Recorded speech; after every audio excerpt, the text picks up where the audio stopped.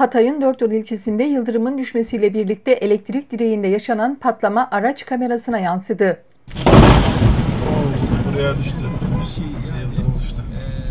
Doğu Akdeniz'de geçtiğimiz gün akşam saatlerinden itibaren yağışlı hava etkili oldu. Dörtyol ilçesinde de yağışlı hava etkisini gece saatlerine kadar hissettirdi. Yağışlı havayla birlikte bir elektrik direğine yıldırım düşme anı ise araç kamerasına yansıdı. Buraya düştü. Görüntülerde elektrik direğine yıldırım düştüğü ve patlama yaşandığı görüldü. Patlamayla birlikte herhangi bir yangın yaşanmazken bölgede kısa süreli elektrik kesintisi yaşandı. ise de sokakları değilsin. Buraya düştü. Yıldırım düştü.